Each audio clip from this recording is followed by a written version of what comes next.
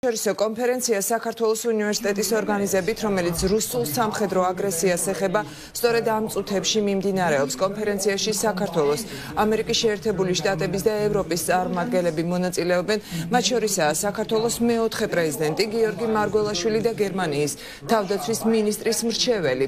რა დასკვნები გამოიტანა მსოფლიო თანამეგობრობამ 2008 წლის რუსეთ-საქართველოს ომის და 2014 წელს უკრაინის ანექსიის შემდეგ კონფერენციის მონაწილეები მონაწილეები საერთაშორისო პარტნიორების მხარდაჭერის და ქვეყნის შიგნით პოლიტიკური გადაწყვეტილებების მნიშვნელობაზე საუბრობენ. თათია წოწონავა ესწრება კონფერენციას და ის ახლა დეტალებით გვერდდება პირდაპირ ეთერში.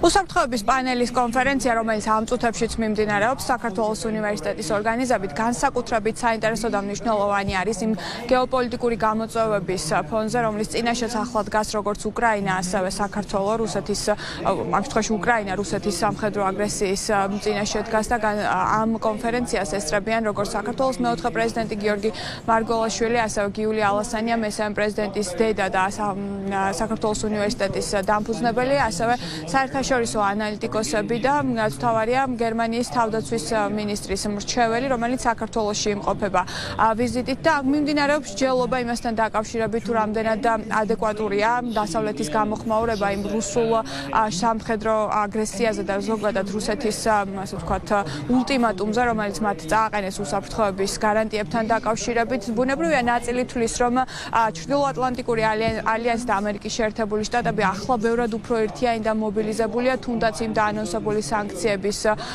მაგალითზე რომელსაც ჩვენ ხედავთ დასავლეთის მხრიდან განსაკუთრებით ხისტ ნაბიჯებს მათ შორის აღმოსავლეთ ევროპაში ჯარების გადასხმასთან დაკავშირებით რუსეთის ასე ვთქვათ რუსეთის მხრიდან შესაძლო ომის დაწყების შემდეგ ასევე ნაწილი კი თulis მაგალითად იმას რომ ჩრდილოატლანტიკურმა ალიანსმა და ამერიკის შეერთებულმა შტატებმა და ზოგადად დასავლეთმა ვერ გამოიტანა გაკვეთილები ფაქტები და ასე ვთქვათ დასკვნები 2008 წლის ომის საქართველოს რუსეთის ომის შემდგომ და ასევე 2014 წელს უკრაინის ოკუპაციის, ყირიმის ოკუპაციის შემდგომ.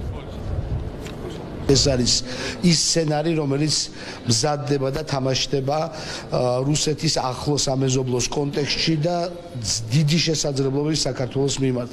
ამიტომ თვალის არ დახუჭო ამ რეალობაზე და არა უბრალოდ პრობლემისგან გაქცევა, არამედ იმის გააზრება, რომ ჩვენს წინაშე არის კარგად ორგანიზებული, идеოლოგიურად გამართული რუსეთის აგრესიული სახელმწიფო მანქანა და რომ სამწუხაროდ ჩვენი პარტნიორები არ არიან მაინც და მაინც მოწოდების სიმაღლეზე ამ მანქანის მიმართ და რუსეთის შესაჩერებლად ჩვენზე როგორც მოქალაქეებზე გადადის ამ ვითარების დრამატულობის და ამ ვითარების ბოლომდე გააზრების საჭიროება. სამწუხაროა ის რომ 2008 წელს არ იყო ასეთი გამოცოცხლება დასავლეთის მხრიდან.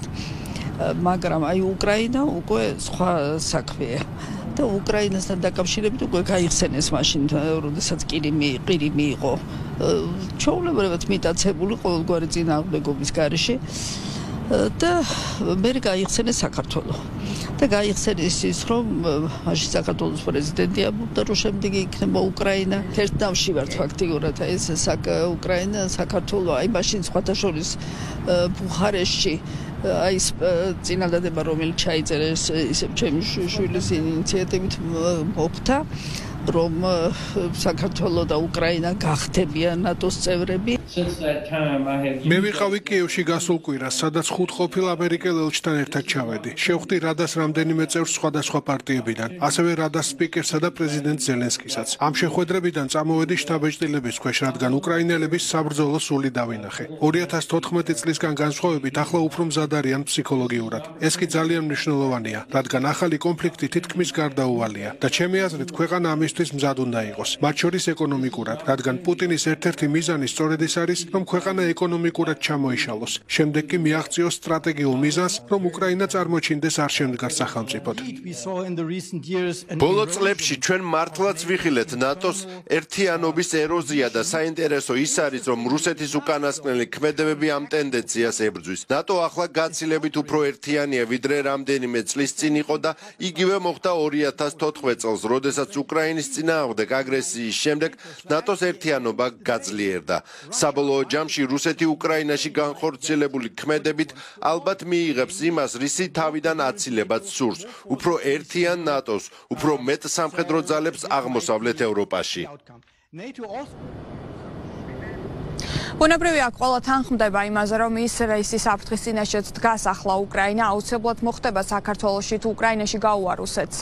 მისი ულტიმატუმები და ახლა განსაკუთრებით მნიშვნელოვანია ის რომ საქართველოს კონდეს კონკრეტული შეთავაზებები დასავლეთის მიმართ ვინაიდან ეს არის უპრეცედენტო შანსი ჩვენი ქვეყნისთვისაც თუმცა აქ ასევე ყველა თანხმდება იმაზე რომ ის რასაც ახლა ჩვენი საქართველოს ხელისუფლებისგან ნაბიჯებს ხედავთ ფაქტობრივად არაადეკვატური ნაბიჯებია მადლობა თათია წოწონავა საუბრობდა პირდაპირ ეთერში.